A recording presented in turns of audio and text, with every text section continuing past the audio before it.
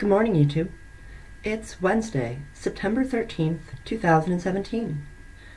Today, I want to talk about stories, and words, and ideas, and memes. We'll start by refreshing on the ideas of object space and thing space.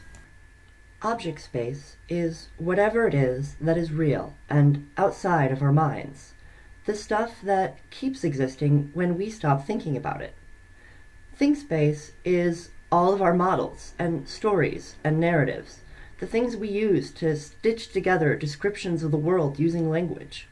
If a tree falls in the woods and no one is around to hear it, does it make a sound? Well, that depends on what you mean by sound. Do you mean a wave of rippling particle interactions propagating outwards in all directions, such that if a human were present, it would vibrate their eardrums and be perceived as a crashing and violent splintering of wood? Or by sound, did you mean the qualia of sound within the mind of a conscious observer?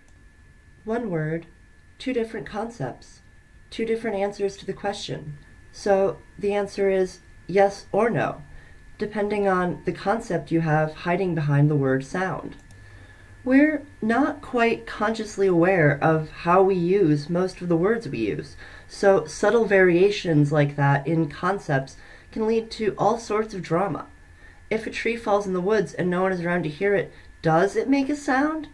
Well, that's not actually a question you can answer without a deeper meta level understanding of what the other person means when they pose the question to you. I can't stress enough that every word is like this. Every word is made up of pointers linking to other words and concepts, describing a way that reality might be, or telling a particular story. And they don't all mesh together nicely. A tree isn't a part of the territory, it's a particular map.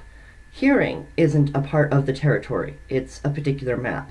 And sound isn't a part of the territory, it too is a particular map. Even science, which tries to construct the most accurate in an epistemic sense map of the territory that it can, has lots of places where its models and theories butt heads, quantum mechanics and general relativity usually being the go-to example. So, what do I mean when I say a tree isn't a part of the territory? What I mean is that tree is a word that we use to map out a particular part of the territory in a particular way. It's made of submaps like leaves and branches and part of larger maps like parks and forests.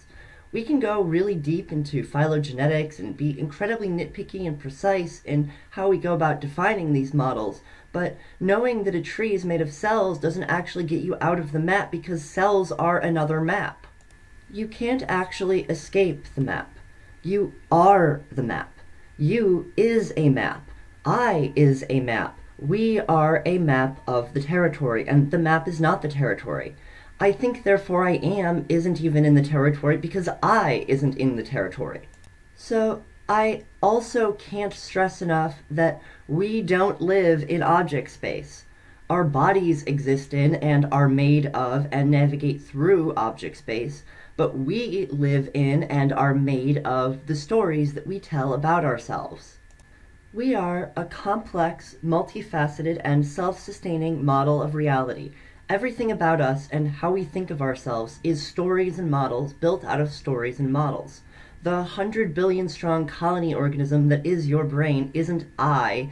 No, I is an idea that's running on that brain, which is then used to recursively label that which has ideas.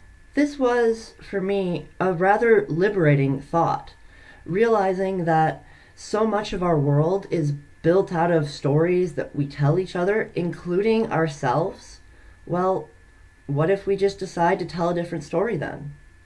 Thank you so much for watching. Be sure to like, comment, and subscribe.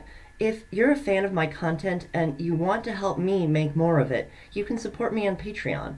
Links to that, along with my blog, Twitter, and Discord server, will be in the video description. Have a great day, YouTube. I'll see you tomorrow.